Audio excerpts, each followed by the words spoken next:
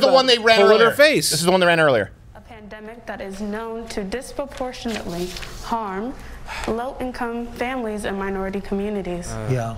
Well, I didn't downplay it. I actually, in many ways, I upplayed it in terms of action. My Did you not action was very it strong. yourself, yeah, saying that because what I did Watch, was uh, watch, China, I everyone, put watch. I want you to mark with this. Europe, I put a This ban is on, going to be the clip we tomorrow. lose They're going to take it out of context and say not put the Donald. Trump So just reversed his own action. language and said that he was was lying. enough, He said he but downplayed it in the actual Woodward fact, interview, and then he said he upplayed it. He literally made sure that he said, I actually whether you upplayed it it as far as action. And he went on to important. So we specify saved a lot of that will be the clip we that did is that. taken. If you see someone running that clip without that context, you know that they're about as much of a liar as uh, Stephanopoulos in claiming to be a journalist, despite the fact that he was a White House communications director with Clinton and gave $75,000 to their foundation. Now, when you see that, when you think about that, does that give you any pause? Does it make you think, is there anything I could have done differently? Anything? I think we could have had two million deaths. Bring in and hit the ding, hit the ding. Another leading question: Is there anything that you actually do you really know that you've done a bad job? Look at all these. Look at how he framed that question. Yeah. L- X amount of people dead without context, and then do you honestly not think that there's anything you could have done better?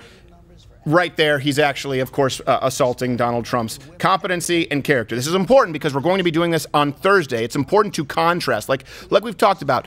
You don't have a society by just having laws. It's are the laws applied equally, right? Is this standard of journalism going to be applied equally to both? I can guarantee you no. No, there's no way. There's no way it's gonna happen. And what let's let's go through what more he could have done. I want to make sure I have this timeline correct because everyone right now is just is is urinating their panties over the Woodward interview. All right, January 31st, he declared it a public health emergency. Okay, February 24th, that's when Pelosi said, let's go down to Chinatown. I don't know if we have that clip. Tell me, let me know when you do have that clip. then we had February 29th, the Trump administration. We do have the clip? Yep. Here's Nancy Pelosi on February 21st, uh, 4th, after Donald Trump declared it a national emergency. to say everything is fine here. Come because precautions have been taken. The city is on. But top she's of not the wearing a mask. Yeah, what, was greeted? what gives? What precaution? She's not wearing a mask. What's going on? February 29th, the Trump administration a- announced a level four travel advisory ban uh, to the areas of Italy, South Korea. They bar- barred all travel to Iran. Okay. Then they had March 2nd. Um, De Blasio encouraged New Yorkers to go to movie theaters. March 4th, the Trump administration announced the purchase of approximately 500 million N95 uh, respirators. March 6th, signed an 8.3 trillion uh, billion dollar bill to prevent the corona- uh, coronavirus outbreak. March 11th, travel restrictions on foreigners who had visited Europe in the last 14 days. 13th, national emergency order to access 42 billion in existing funds to combat the coronavirus. March 14th, by the way, this is what's really important. March 13th, sorry, Michigan. This is when they decided to start sending in young sick people into old Yeah, folks' homes because they wanted to show everyone that they could flatten the curve. Governor Whitmer, what's the number? How many people are dead in Michigan from nursing home deaths? These people don't want to release the numbers. We know it's 68% in Pennsylvania. We know it's over 80% in Canada. Right. We used to, we estimated it wrong. We said a long time ago that it was over 45% of all COVID deaths were coming from nursing homes. Well, actually, it's likely much higher because in Pennsylvania, 68, over 80% in Canada, and they didn't have nearly, nearly as dangerous policy as you saw in Michigan, where they were sending young people, not just old people, back Right. into old folks' homes, Right. young people who were sick in old folks' homes. That, that guy beat someone to death. We showed you the video. We had no idea why that person was in a old selfie folks' video. home. We're going, why is this young Crip member beating the hell out of grandpa in an old folks' home? Oh, because he had COVID.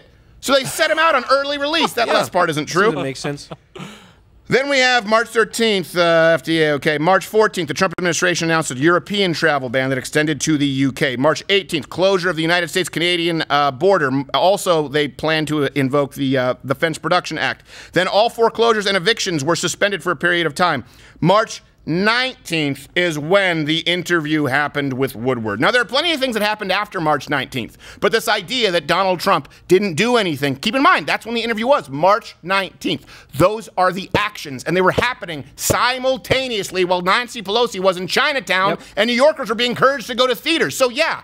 Actions, if you look at the actions of Donald Trump, he played it up. In words, he was playing down the panic. Whereas leftists were playing it up in words, but in their actions were actually actively engaging in what they now would claim uh, promotes the spread of the I virus. mean, it, it, when, when did we as a nation decide that all of a sudden we were more interested in lip service to a, a, a thing that requires decisive action than actually doing the action part? Right. I mean, all of the different action that was pr- that was proposed or actually enacted. Either any proposal, no, no, no, no, no, Trump's trying to kill you. Any action actually taken, look, he's actually killing you. And now, two, three, six months later, they're going, oh man, if we had only done those things a little earlier, but uh, you know, Oh Trump's fault. Trump's fault. Oh boy, I told people to go down to Chinatown and that they shouldn't use a mask. Oh boy, if the media weren't carrying my water, there'd be some egg on my face. Thank the Lord for Stephanopoulos, Anderson Cooper, Don Lemon, and the rest of the gays at CNN.